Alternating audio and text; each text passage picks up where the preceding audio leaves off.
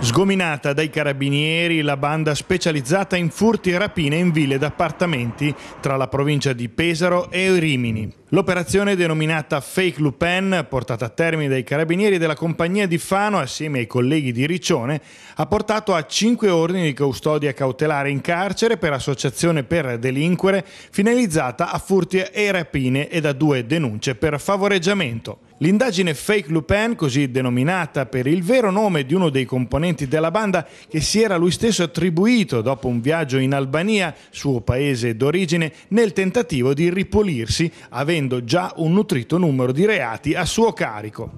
Le misure cautelari chieste dal PM di Pesaro Silvia Cecchi e firmate dal GIP Francesco Messina sono state notificate a persone già in carcere e che sarebbero usciti a breve per scadenza dei termini, ma ora, grazie alle misure richieste dai giudici, rimarranno in cella. I denunciati sono un cinquantenne albanese residente da 20 anni a Fano, con precedenti per spaccio, risultato essere il basista della banda, ben inserito nella comunità e di diversi contesti sociali, senza una fissa occupazione però, e che aveva accompagnato i membri della banda ad acquistare gli arnesi da scasso in ferramenta, pagandoli di persona, ed un 57enne italiano che aveva affittato alla gang un appartamento a Fano dove erano stati fermati nel blitz notturno dei carabinieri di Riccione nel quartiere di Gimarra di Fano l'inverno scorso.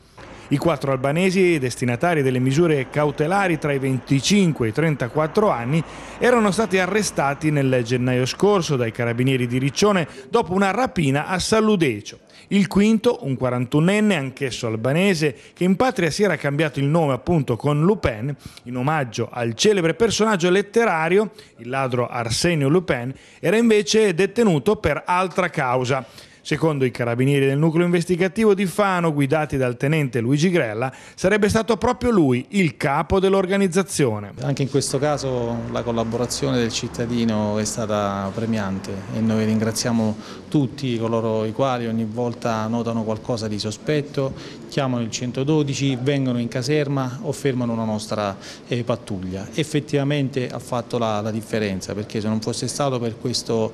eh, bravo cittadino che eh, oltre ad aver visto e osservato per lungo tempo quello che di strano effettivamente stava avvenendo sotto, sotto casa sua, eh, sicuramente non potevamo mai raggiungere questi risultati lusinghieri. Possiamo dire che grazie alla perfetta sinergia con eh, i colleghi paritetici del nucleo operativo della compagnia eh, di Riccione il fenomeno dei furti in abitazione è stato infrenato in modo significativo, questo ce lo dicono i dati dati. Il trend dei furti in abitazione in Fano, ma più in generale nella provincia di Pesaro Urbino, è in, eh, in, netto, in netto calo. La vera svolta delle indagini quindi l'hanno data con le loro segnalazioni alcuni cittadini, vittime loro stessi di furti che hanno fornito ai carabinieri date e circostanze che hanno consentito di intercettare la brutta coppia di Lupin alla guida di una vecchia Fiat Stilo blu intestata ad un romano prestanome con precedenti penali